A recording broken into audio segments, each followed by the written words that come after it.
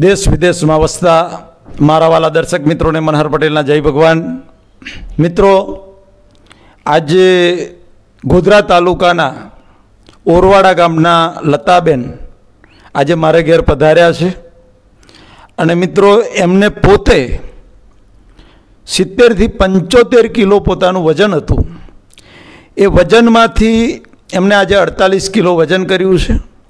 પોતાનું તો વજન ઘટાડ્યું છે પણ ગામના અનેક લોકોને માર્ગદર્શન આપી અને એમનું વજન ઘટાડવામાં એમને મદદ કરી છે, સેવાનું કામ કર્યું છે.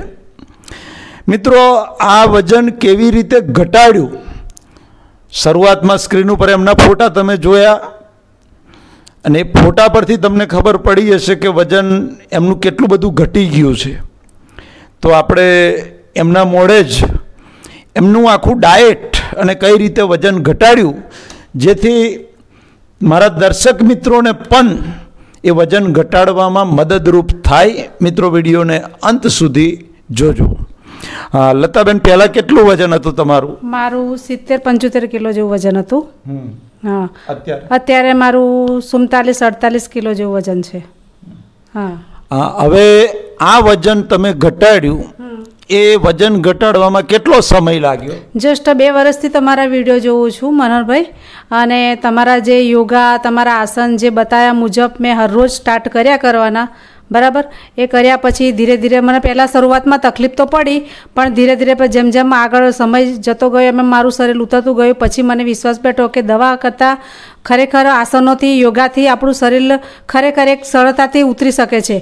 જેથી કરીને મેં આજુબાજુવાળાને જસ્ટ જે જાણીતા હોય એ લોકોને બી મેં સલાહ આપી કે દવા જે તમે બહારની પાંચ પાંચ દસ દસ હજાર રૂપિયા ખર્ચો કરીને તમે લાવો છો, બરાબર? એના કરતાં મનહરભાઈ પટેલ જે આપણને યોગા બતાવે છે, ઘેર બેઠા બરાબર છે, અને જસ્ટ જે આસનો બતાવે છે, એ મુજબ આપણે હરરોજ કરીશું, તો આપણા શરીર થોડું ઘણું તો નહીં, પણ વધારે પડતું પણ ઓછું થઈ શકે છે. જેથી આપણે જેટલું આપણી માફક રાખવું એ પ્રમાણે આપણે કરી શકીએ છીએ. અને જસ્ટ બીજું કે બે બે વર્ષથી ખાવા પીવામાં બી કંટ્રોલ કર્યો. જસ્ટ જે મેદો આવે છે, મેદો પણ મેં છોડી દીધો ઘઉં બી મેં છોડી દીધા અને મકાઈનો રોટલો અથવા બાજરીનો રોટલો અને ચાવલ મતલબ કે ચોખા આટલું અમે ખાવામાં લઈએ છીએ. હવે રોજ સવારે તમે આ આસનો પાછળ કેટલો સમય કાઢો છો? લગભગ મિનિમમ કલાક જેવો કાઢીએ છીએ અમે. મિત્રો જુઓ આપણને કુદરતે ચોવીસ કલાક આપ્યા છે. ચોવીસ કલાકમાંથી એક કલાક આપણે શરીર માટે કાઢવાના છે. પણ આપણે શું કરીએ છીએ? આપણે શરીરની કાળજી રાખતા નથી. મિત્રો આ મારું તમારું શરીર સારું નહીં હોય ને તો આ લાડી ગાડીને ઘોડા ગાડીને બધુંય તમારા બંગલાન ગાડીને બધું છે ને જીરો થઈ જશે. એટલે ચોવીસ કલાકમાંથી ત્રેવીસ કલાક તમે પૈસા કમાવા માટે પત્ની બાળકો માટે કાઢો પણ એક કલાક આ શરીર માટે કાઢો.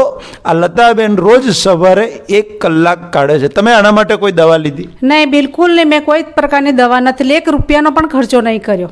જુઓ મિત્રો એમને કોઈ પણ પ્રકારની દવા નથી લીધી, માત્ર એક કલાક પ્રાણાયામ, આસનો. મિત્રો, મેં વિડીયોમાં બતાવ્યા છે આસનો ડેમોન્સ્ટ્રેશન સાથે. એ આસનો તમે કરશો તો તમારે દવાની કોઈ જરૂર નહીં પડે. હવે મિત્રો, એમનું ડાયટ આપણે પૂછીએ કે એ સવારથી સાંજ સુધી ખોરાકમાં શું લે છે? જેથી એ તમને પણ મદદરૂપ થઈ શકે. સવારથી આખું તમે કહો સવાર સવારમાં હું લગભગ છ વાગે ઉઠું છું. છ વાગે ઉઠ્યા પછી એક કલાક યોગા આસન કરું છું અને બીજું કે યોગા યોગા આસન પત્યા પછી હું એક ગ્લાસ ગરમ પાણી પીવું છું. જસ્ટ મને એસિડિટીનો પ્રોબ્લેમ છે એટલે હું લીંબુ નહીં નીચવતી.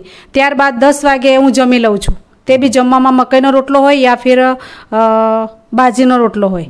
તો દાળ હોય યા ફિર કોઈ સબ્જી હોય શાકભાજી હોય, લીલોતરી હોય બરાબર? ત્યાર પછી હું સીધી સાંજે સાત વાગે જમી લઉં છું. સાત વાગે લગભગ દાળ ચાવલ હોય છે અને રોટલી શાક હોય છે. રોટલી ખાવાની ઈચ્છા થાય તો એક આધી રોટલી લઈ લઉં છું. ત્યારબાદ હું એક કલાક વજ્રાસનમાં બેસું છું. ચાહું તો હું આખી નાઇટ પણ બેસી શકું છું. મને કોઈ તકલીફ નથી. બરાબર? પણ એક કલાક અડધો કલાક યા ફિર દોઢ કલાક પણ બેસી શકું છું. ટાઈમ હોય તો હું બેસી શકું છું કલાક બે કલાક. ત્યારબાદ સૂઈ જાઉં છું સવારમાં વહેલા ઉઠી જાઉં છું. મિત્રો, જો ખાસ હું તમને છે ને વારંવાર વિડીયોમાં, આજે ત્રણ વર્ષથી છે ને મારા બધા વિડીયોમાં બૂમો પાડીને કહું છું કે એટલે વજ્રાસન કરો, કારણ કે બધા આસનોનો રાજા છે. વજ્રાસન તમે કરશો અને બેન તો કલાક બેસે છે, જમ્યા પછી એક કલાક. મિત્રો કલાક ના બેસાય તો પાંચ મિનિટથી શરૂઆત કરો, દસ મિનિટથી શરૂઆત કરો. અને પછી તમે જો કલાક બેસશો તો સો ટકા તમારું વેઇટ ઘટશે. અને ડેમોન્સ્ટ્રેશન હું જીવ, જીવતું જાગતું યાર, હું દાખલો છું. મારા બધા વીડિયો વજ્રાસનમાં બેસીને ઉતારું છું. ત્યાંથી તો થોડું વિચારો યાર. વજ્રાસનમાં બેસવાનું અત્યારથી ચાલુ કરી દો, તો ભવિષ્યમાં તમારે ઢીચણના પ્રોબ્લેમ નહીં આવે, વેરિકોસ વેઇનના પ્રોબ્લેમ નહીં આવે, કમર ઉપર ને હિપ્સ ઉપર તમારી ચરબી જે જમા થાય છે ચરબી પણ જમા નહીં થાય. રાત્રે જમ્યા પછી તમે કશું ખા લો છો જમવાનું? સૂતા પહેલાં? નહીં સુતા પહેલાં કશું નહીં લેતા કશું નહીં. હા મિત્રો જુઓ આ ઘણોને છે ને હુતી વખતે પેટમાં બિલાડો બોલતો હોય. ઘણા કહે છે કે હાડું સાત વાગે ખાઈ લીધું દસ વાગે ઊંઘવા જાય ને તે વખત કકડીને ભૂખ લાગે પેટ ખાલી થઈ ગયું. હૂતો હૂતોય ડબો ડબા ડબા ફંફોડે અને રહોડાની મહીથી એ તમારે વઘારેલા મમરા હશે ને સેવો હશે ને પાપડી હશે. ખનખોતર કરીને મહીથી કાઢીને ચાર, પાંચ ફાંકા ના મારે ને તો સુધી ઊંઘ ના આવે. મેં તો ઘણાય પાછા મોડે હોંભર્યું છે મારા ભાઈબંધો, કે મારે તો કે રાતે દસ વાગે, અગિયાર વાગે, બાર વાગે ઘેર જવું ડબ્બો ખોલીને કશું ના ખાવ તો ખાધા વગર મને તો ભૂખ્યા પેટે ઊંઘ જ ના આવે ને. એટલે આ એ ખરેખર તમે જમ્યા પછી જે ખાવશો, રાત્રે જમો છો, સંધ્યાકાળે કાળે પછી જે જે કંઈ તમે ફાંકા ફૂંકી કરો છો ને એ બધું પોઈઝન બને છે શરીરની અંદર. કારણ કે રાત્રે જે આપણે સૂઈ જઈએ ને સ્લીપિંગ મોડમાં આખું બોડી હોય છે, જે ખાવશો એ પોઈઝન બને છે.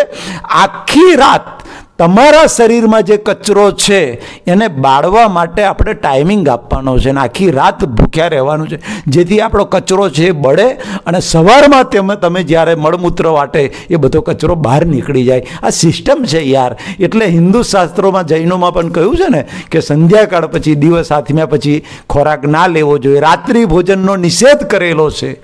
તો આ સિવાય બીજું તમે આમ જમવામાં કઠોળ કેટલા લો છો? કઠોળ મગ છે દાળ છે સોયાબીન છે એવું બધું જે બી કંઈ કઠોળ આવતા હોય એ બધા કઠોળ હું લઉં છું. હા. તમે ડાયટિંગ એટલે કોઈ દિવસ આમ ભૂખ્યા રહ્યા હોય અને ઉપવાસ કર્યા હોય? નહીં નહીં નહીં ઉપવાસ તો મારાથી થતો જ નહીં બિલકુલ નહીં. ભૂખી તો હું રહેતી જ નહીં કારણ કે મારાથી રહેવાતું નહીં. ભૂખ લાગે તો હું ચણા બાફી પલાળી રાખું છું રાત્રે અને સવારમાં બાફી અને એને ખાઈ લઉં છું. જસ્ટ જો મને એવું લાગે કે મને વધારે પડતી ભૂખ લાગે છે, તો હું કઠોળમાં ચણા વધારે લઉં છું. હા. તો મિત્રો જોયું કે વજન ઘટાડવા ડાયેટિંગ કરવા કે ભૂખ્યા રહેવાની નહીં જરૂર યાર. ઘણા તો આ ચાતુર્માસ ચાલે છે, ચાતુર્માસ પર ઉતરી જાય છે. પણ ચાતુર્માસના ચાર મહિના કરે ને, પછી ચાતુર્માસ તોડે એટલે ચાર મહિનાનું હોમ ટુ દરબાટ દે. અને હોમ ટુ ખાઈ નોખે. એ પાછું વજન થોડું ઘણું ઘટ્યું હતું એમને. જો આ લતાબેને કોઈ પણ ભૂખ્યા રહ્યા વગર ડાયટિંગ કર્યા વગર, યાર હું ખાસ કહું છું, બરાબર? સાંભળજો કે કઠોળથી કોઈ દિવસ વજન ના વધે. તમને ભૂખ લાગે તો ઘરમાં હળન છે ને, શેકેલા ચના ભરેલો ડબ્બો રાખો.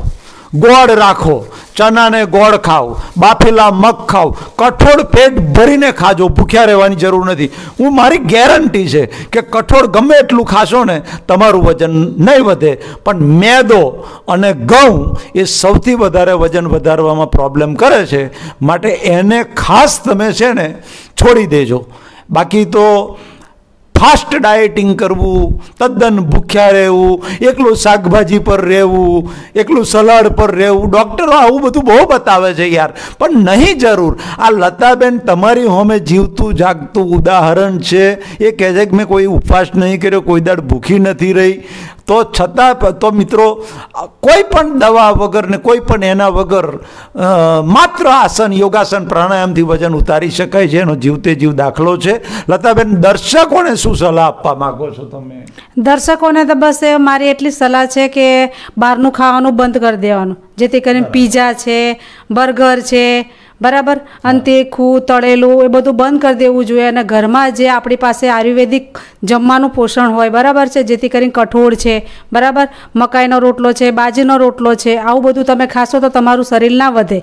અને જેથી કરીને સવારમાં રોજ ઉઠીને એક કલાક તો નહીં, અડધો કલાક તો પોતાના શરીર માટે આપવો જરૂરી છે. જેથી કરીને આપણે આપણા શરીરની જેટલી ફિટનેસ રાખશું, એટલું આપણા માટે ફાયદો રહેશે.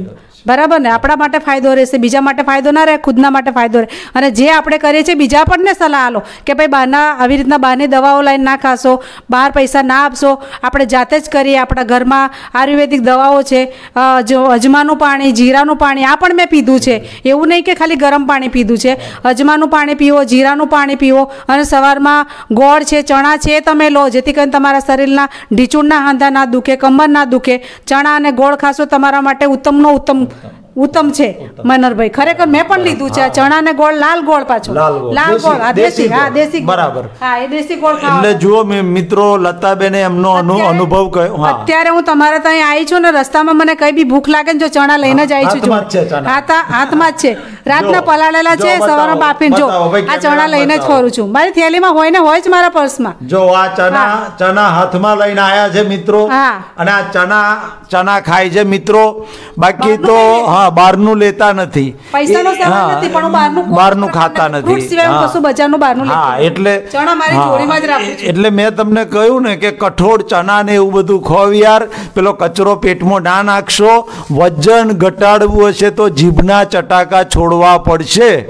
એ સિવાય કોઈ વિકલ્પ નથી. બાકી ચાતુર્માસ કરીને મરી જશો અને ચાતુર્માસ કરશો અને બર્ગર પીઝા ખાવાનું રાખશો, તો કોઈ સંજોગોમાં વજન ઘટે નહીં, ઘટશે તો ટેમ્પરરી પછી પાછું હતું એટલું ને એટલું થઈ જશે.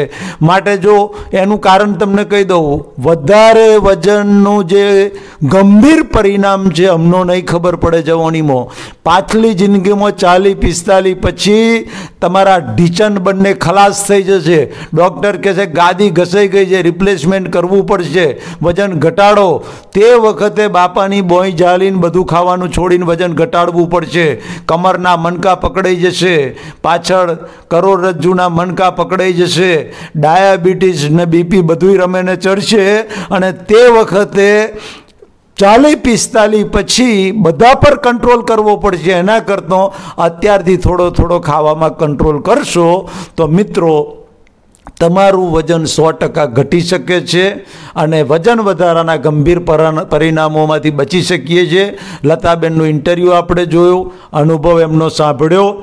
અને હવે મિત્રો હું કહું છું એમ કે જીવનની અંદર મિત્રો, જન્મથી મોત સુધી મને તમને જે આયુષ્ય કર્મ મળ્યું છે, એ આયુષ્ય કર્મની અંદર મિત્રો સાઠ સિત્તેર એંસી વર્ષની અંદર થોડા દિવસો થોડા વર્ષો આપણે પરમાર્થ કરીએ મન વચન કાયાથી બીજા જીવોને સુખી કરીએ એવું પૈસાથી નહીં મિત્રો. લતાબેનનું જોયું કે લતાબેને પોતાનું વજન ઘટાડ્યું. બીજા ગામમાં દસથી પંદર જણનું વજન ઘટાડ્યું મિત્રો. આ પણ પરમાર્થ છે. એનું પુણ્ય પણ એમને એમને મળ્યું. બધાને ફરજે એમને પુણ્ય હા, એટલે એટલે એ પુણ્ય એ એ પુણ્ય એમને મળવાનું છે મિત્રો. આ રીતે આપણે પરમાર્થ માટે તન, મન, ધન અને સમયથી આપણે બીજાને સુખી કરીશું. તો આપણા જીવનમાં પણ દિવાળી પ્રગટશે અને આપણને પણ કુદરત હજાર ગણું સુખ આપશે. પરમપિતા પરમાત્મા મારા વાલા દર્શકોને લાભો અને નિરોગી આયુષ્ય આપી હૃદયથી પ્રાર્થના. મનર પટેલના જય ભારત, જય હિન્દ.